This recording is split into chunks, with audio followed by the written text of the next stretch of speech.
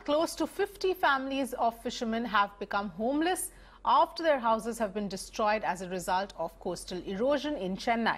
The fishermen say that this phenomenon of coastal erosion has been happening since the tsunami, but for the last five years, the situation has worsened with the waves battering the shores and engulfing their homes. The government, they claim, has done nothing to provide any kind of relief to them. திடீர்னு இதுமாரி கிளம்புது ஆனால் வந்து ஒரு அஞ்சு வருஷமாக வந்து இவ்வளோ லாங்லாம் வந்ததே கிடையாது. கொஞ்சம் தூரம் வரும். அப்படியே அப்படியே அரைச்சின்னு கொண்டுன்னு அப்படியே கொஞ்சம் சே சேதாரம் தான் ஆகும். ஒரு நாலு வருஷமாக இந்த சேதாரம் வந்து கொஞ்சம் கொஞ்சமாக தான் நடந்துருந்து ஆனால் இந்த வருஷம் வந்து ரொம்ப அதிகம். எங்களுக்கு வந்து வீடு கட்டினாலே ஒன்றரை லட்ச ரூபாய் ஆகுது சார். இந்த ஓடு போட்ட வீடு கட்டினாலே. அதுக்கப்புறம் சாமான் சட்டி எல்லாமே எல்லாமே இருக்குது இந்த டிவி பசங்க டிவி பார்க்குறது கொள்றது எல்லாம் பொருளும் வாங்கி போட்டோம் எதுவுமே கிடையாது. எல்லாம் போச்சு.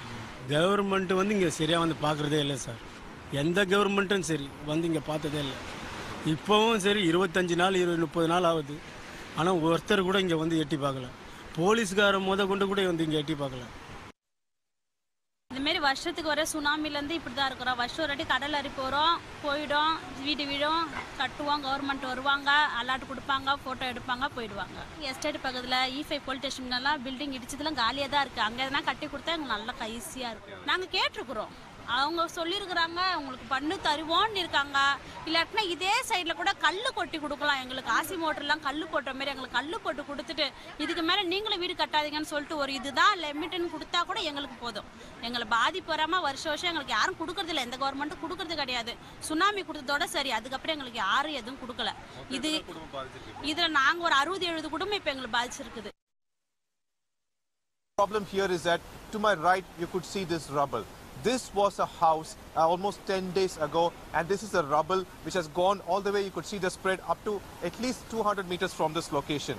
Close to 50 families have been uh, destroyed because of this and what was the reason? Sea erosion. This has been occurring for the past five years and still the people here claim that the government has not taken any kind of measures to see to that they do not suffer this way. The people over here claim that they can't go away from this spot because this is the only place where they can live. This is a place where they can be very close to the sea. However, the sea was almost 200 meters away from this area but apparently this month in a period of 20 days day, uh, night after night, the sea erosion has occurred and they have left with nothing. This is one of the 50 houses that has been completely destroyed. Their major, major problem is that none from the government have still approached to find out what could be done with them.